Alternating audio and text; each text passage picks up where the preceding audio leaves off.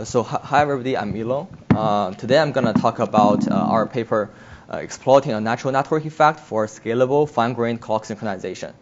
And our system is named Huygens after the famous physicist, and uh, it achieves uh, tens of nanoseconds of accuracy in a data center. So this work is done together with Shiyu, Zi, Balaji, Mendel at Stanford, as well as Ashish and Amin at Google. The synchronized clocks are fundamental to the operation of many distributed systems. For example, uh, we could improve the performance and consistency of distributed databases with synchronized clocks. And we could also enforce ordering of forwarding rule, rule updates in uh, software-defined networking to avoid forwarding loops. In financial systems, we can guarantee the transaction ex execution orders. And in uh, network congestion control, we can do TDMA uh, style flow scheduling uh, you know, to uh, mitigate congestion. And there are many other applications we can think of. So our goal here is to synchronize clocks to tens of nanoseconds uh, in real time and at scale so that we can provide accurate timestamping as a fundamental primitive in data centers. So now we take a distributed database as an example. So Spanner is Google's distributed database that supports ex external consistency at a global scale. It does this by using timestamps to order transactions. And, uh, and as a result, the read and write latency of Spanner is actually bounded by the uh, clock uncertainty, meaning the better clocks you have, the faster Spanner will be. So CockroachDB is an open source database that also uses time to achieve consistency. And the thing about it uh, is that uh, a read transaction in CockroachDB has to be retried if any of the records being read is updated during this clock uncertainty interval. To see this effect, we conducted an experiment where we read 128 frequent, frequently updated records distribu distributed on 32 servers.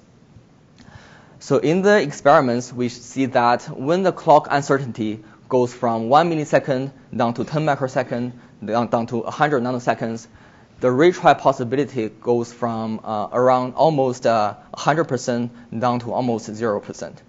This result shows that even, uh, I mean, the uh, nanosecond level accur uh, uh, accuracy synchronization is useful even in today's existing distributed applications. So now the question is how to synchronize clocks. So every clock synchronization systems start from this picture. The setup is uh, the wall clock time or true time is T, and we have two servers, A and B, trying to synchronize uh, their clocks. Both, the, both servers have their clocks, and both clocks have their errors. So the two servers send probes to each other and take the transmit and receive timestamps of the probes. These four probes, uh, these four timestamps are then used to synchronize the clocks. So different uh, synchronization systems uh, are uh, like uh, are mainly different in two aspects. The first is where to take the timestamps, and second is how to process the timestamps. This diagram shows a simple uh, setup where the two servers are connected by a single switch.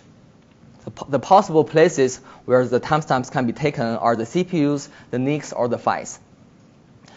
Uh, it's worth noting that the lower level, sorry, the lower level in the stack, you take the timestamps. Uh, the last noise and the variable delays will be included in the timestamps. However, uh, the more hardware support you, you will need.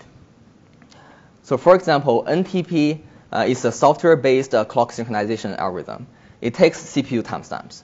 But since CPU timestamps include software stack latency as well as uh, network delays, NTP can be easily, easily off by milliseconds. And PTP uh, with uh, the pre precision time protocol takes NIC, NIC timestamps. But since NIC timestamps include the uh, network queuing delays uh, happening in the queues in the switches, PTP requires uh, spe specialized switches to subtract the queuing delays from the packet timestamps in order to achieve good accuracy. Uh, DTP uh, made a very good observation that if you take timestamps in the PHYs, you can avoid all the queuing delays, uh, you know, uh, at one uh, directly. However, uh, to use DTP, you, you, you have to have all the PHYs to be DTP, DTP compatible. And, uh, and, uh, and for this reason, you have to change all the hardware in your network. So where's Huygens in the picture? Huygens actually takes uh, NIC timestamps. But unlike PTP, it doesn't require specialized switches to subtract the queuing delays. Instead, it's a software-based approach, and it uses uh, statistical methods to uh, combat network queuing delays and timestamp noise.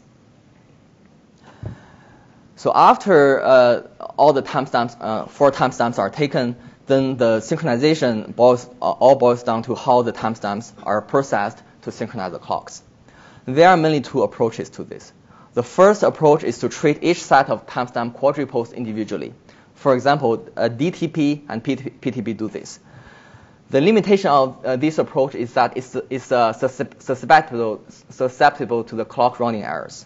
For example, in the DTP paper, it uh, says that uh, the precision of DTP is bounded by 25.6 nanoseconds per hop, and uh, this number is actually four times uh, the clock period in a 10G network. And across a, a six hop network, you have to time this 25.6 by 6, and then you, you will get a, like a uh, 153.6 nanosecond overall accuracy uh, bound. The second approach uh, is that we can treat many sets of timestamp quadruples collectively. NTP does a little bit of this uh, by, uh, uh, by, doing, by doing this for multiple time packets between a single pair of servers. Huygens uh, does this for uh, timestamp quad quadruples for uh, many probes and across a whole network, whole, whole network of servers. By doing this, Huygens is able to go below uh, the clock rounding errors and is able to synchronize the clocks to tens of nanoseconds, even under very heavy network load. And uh, by synchronizing all the servers in the network as a whole, is able to achieve a global consensus, consensus of time. So the basic idea behind Huygens is this. Uh, so using the probe uh, sent from A to B, we know that the receive time of the probe equals to the transmit time uh, plus delay. The receive time uh, in terms of uh, true time equals, equals to the receive timestamp taken by B minus B's clock error. Similarly for the transmit time. transmit time. And if we rearrange the terms and put the unknowns on the left and the timestamps, timestamps on the right, and use the fact that the delay term is positive, then we can get a bound on the uh, uh, on the unknown term on the left, which is actually the uh, clock offset between the two servers using the two timestamps. Similarly, using the uh, probe from the re reverse, reverse direction, we can get a lower bound on the same quantity. And uh, so this figure is uh, got from the Google Jupiter 40G testbed. So if we plot uh, the uh, probes uh, during a two-second interval on the same figure, we got uh, we got this. So the x-axis in, the, in this figure is a clock of uh, server A, and the y-axis is a clock offset between the two servers. And the blue points uh, and the green points are the, are the upper bounds and lower bounds we got we got from the probes. So the the points far away from the center area are the probes that experienced queuing delays. And the points on these boundaries are the probes experienced zero queuing delays. In theory, there shouldn't be points on the other side of the boundary. This is happening because some NICs are reporting uh, timestamps after the packets are sent, uh, sent out, meaning it's, uh, the timestamps are giving us artificially small uh, one-way one -way delays uh, you will see that it is important, it's critical to uh, uh, filter out these noisy data in order to achieve a good synchronization. So now if we assume the uh, delay between the two servers are symmetric, this red line in the middle of the two boundaries will depict the clock offset between the two servers across time. For example, it says when, clock, uh, when server A's uh, time is 0, uh, server B's time is 93.3 microsecond behind it. And when server A's time is at 2 seconds, server B's time is 96.6 uh, microsecond behind it. We see that not only there is an offset between the two clocks, the offset, the offset is also changing over time. And in this case, the uh, clock drift is uh, uh, minus 1.65 microsecond per second. If we plot uh, the clock drift for many different server pairs onto the figure, uh, we got this. We see that most clock drifts uh, are within 10 microseconds per second. However, there are larger ones as large as uh, 30 microseconds per second. So this, tell, uh, this tells us that uh, we, we cannot only fix the offset between the clocks, we also have to compensate for the clock drift. Because even if the clocks are perfect, perfectly synchronized uh, at the beginning, after one second, they will be apart, uh, uh apart by uh, up to 30 microseconds. And 30 microseconds is uh, multiple times of the round trip time in the data center. So all the previous figures uh, I showed are uh, within a two-second interval. And this is what happens on a larger time scale, and in this case, it's a one-minute interval. We see that the clock drift is also changing over time. This can happen when the uh, temperature of the clock changes. Uh, and for example, when the NIC is busy sending packets, it can get hot. And after it gets hot, its clock will get slower. In order to uh, deal with this problem, we, uh, what we do is, is, that we chunk the time into two second uh, intervals, and we sync uh, every two second interval individually. So observation is that uh, the temperature is a phys physical uh, quantity, and it doesn't change that fast. And we have ob observed that the clock drift is uh, approximately a constant during two seconds. So uh, these are, are, the three key ideas we use to find the uh, right middle line, which says about the clock offset. Uh, these are the three key ideas are support vector machine, coded probes, and the network effect. So support vector machines. So SVM uh, is a uh, machine learning a classifier developed in the 90s. and ba basically, given labeled data, SVM will find a hyperplane that maxim maximally uh, separates uh, the different classes of data. So in our case, the blue and green points are two classes of data.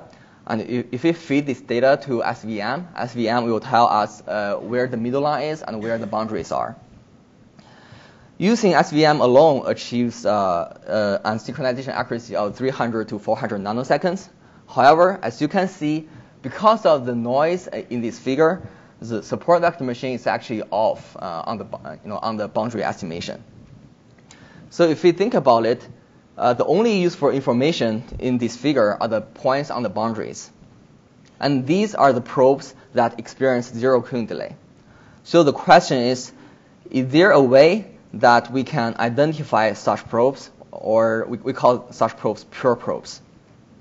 So it's actually difficult to, uh, difficult to know if a packet has ex experienced any queuing delay or uh, timestamp noise uh, in the network. Uh, however, if you have two packets, we may have a chance. In this example, we send two packets into the network uh, with a known in, uh, gap between them. And this example says 10 microsecond, but it can be whatever it is we measure the 10 microsecond is only uh, like a like a random example number here. So after the two packets come out of, come out of the network, uh, there are three possibilities. The first possibility is that the gap between them can become much larger.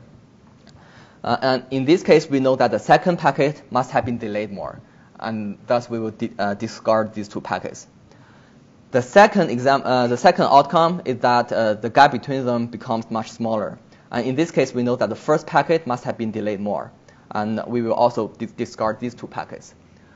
And the third possible outcome is that the uh, gap between them actually comes out uh, very close to uh, very, very close to the uh, original gap, actually within a very small guard band, uh, 50 nanosecond guard band.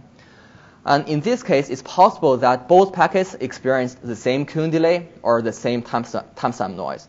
However, it's actually very difficult for anybody to arrange two packets to, uh, to experience the same queuing delay in the network because the queues are changing very fast. So the most likely explanation is that the both packets experienced uh, zero queuing delay and no timestamp, no timestamp noise. So that's why we will accept these uh, packets and, uh, and uh, treat them as pure probes. So if we apply the coded um, probes uh, filtering to this figure on the left, we will get the figure on the right. As you can see, it, it becomes much cleaner, and most of the uh, you know, bad data uh, are removed, and most of the pure probes are preserved. Empirically, coded probes filter out 90% of bad data and reduce the clock sync error by a factor of 4. So up to now, we have synchronized uh, two clocks.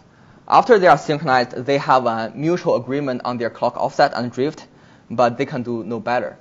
It's possible that uh, there are random noise uh, during uh, two second uh, uh, random estimation errors within this two, two second interval, or there can be a systematic error uh, caused by path asymmetry. For example, if the delay between from A to B is one microsecond and the delay from B to A is three microseconds, then there will be a one microsecond asymmetry uh, uh, one, one microsecond uh, systematic error caused by this asymmetry.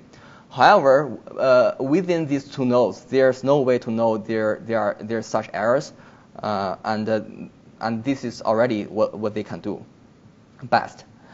however, if you have a third clock in the picture, we can do much more. for example, since A and B are synchronized, A can say if my clock is at 10, B's clock must be at 10:15.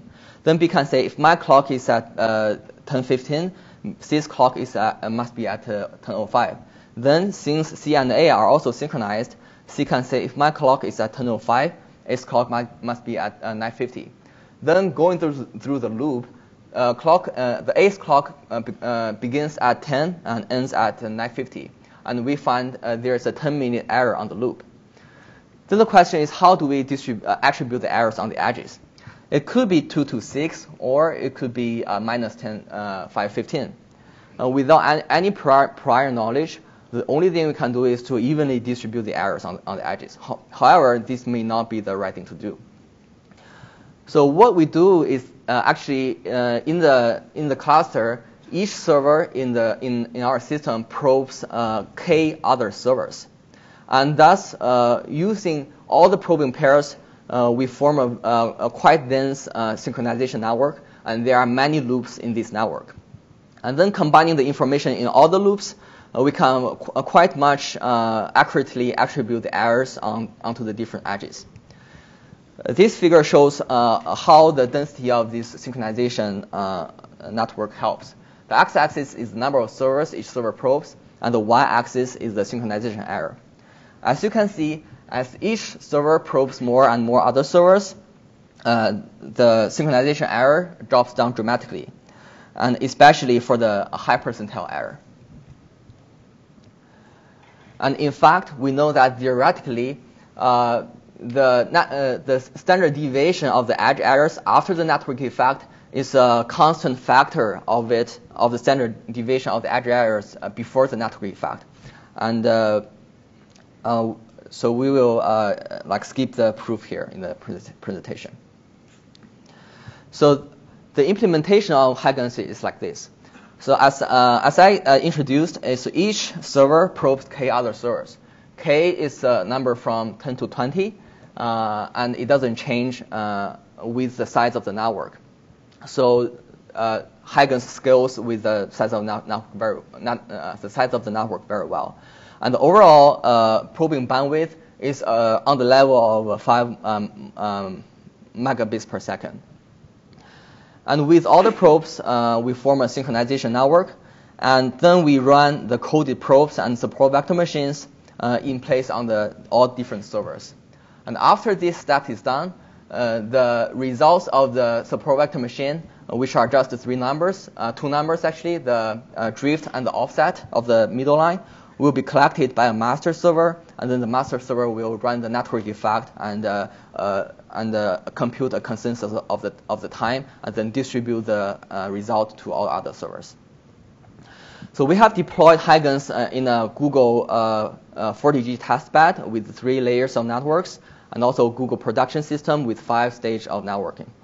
We also built ourselves a testbed at Stanford with 1G servers and switches and it's a two-layer uh, uh, testbed, a two-layer network with 128 servers. In order to verify the accuracy of Huygens, we used FPGAs. The idea is that uh, there are four ports on a single FPGA, which can uh, act as four uh, independent NICs. However, these four NICs share the same clock. We will first use Huygens to uh, give an estimate of the clock offset between these FPGA ports And then since we know that the ground truth clock offset is zero, any uh, clock offset uh, uh, declared by Huygens, we know that is an error. So in fact, we have three FPGAs in the, in the testbed.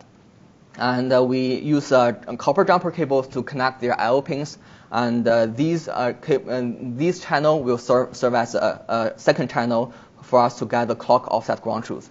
And then we will compare the Huygens uh, result with this ground, ground truth uh, to see uh, to know what the Huygens accuracy is. And this table shows the results. The experiment is run at 40% load with k equals to 10. As we can see, uh, the 99th percentile error before network effect is uh, already within 100 nanosecond, and after uh, and after the network effect, it becomes uh, 30 nanoseconds. And this figure shows the uh, uh, how Huygens is robust to load. X-axis is load, y-axis is error. And we can see that even at 90% load, Huygens uh, achieves a 99 percentile error within uh, five, uh, 50 uh, nanoseconds. And this figure shows the comparison between NTP and Huygens. And for uh, fairness, we use the hard, hardware timestamp for NTP2.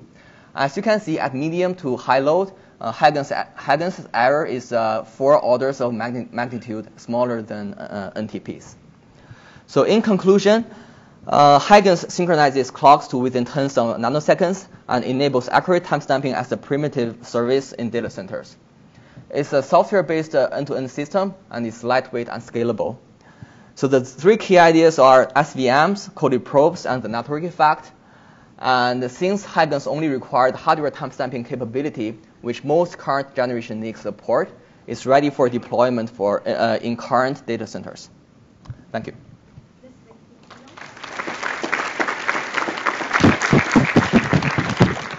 Any questions? Yeah. Coming up for a question?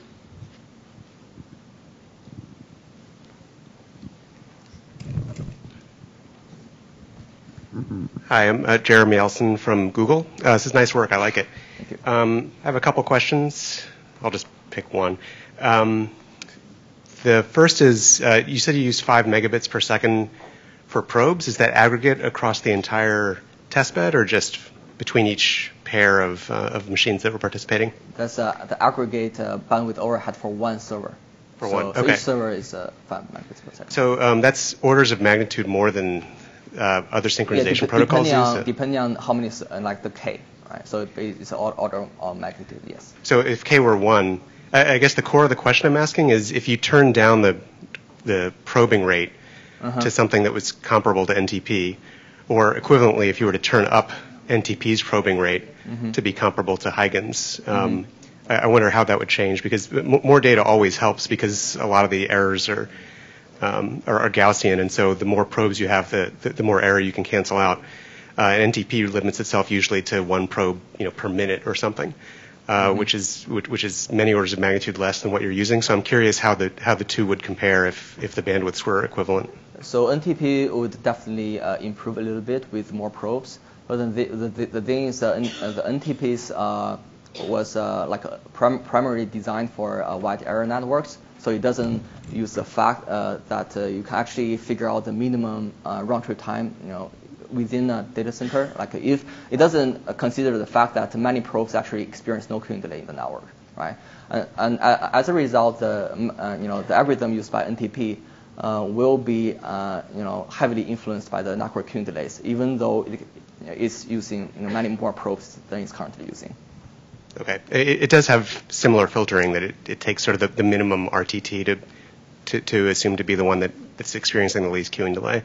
So that the yeah, more probes the, you send, the, better that'll work. Yeah, the minimal RTT is uh, is uh, like a susceptible to, uh, to the you know NIC timestamp noise because the NIC timestamp the, the, the way the NICs are taking timestamps, some, sometimes you can get artificially small uh, RTTs, and then, then like this will you know fold into the uh, error in the NTP. Okay, thank you. Yeah. We'll take one more question while Moritz sets up. Thank you. Hi, this is really cool work. I'm Rodrigo from Brown University. Uh, two quick questions. Um, one is, have you? These are really cool techniques. Have you tried to use these for the wide area? I know like you won't get any the same performance uh, or same yeah. precision, but it's you could. The second question is kind of crazy. Uh, have you tried to use this uh, to measure the temperature in the data center?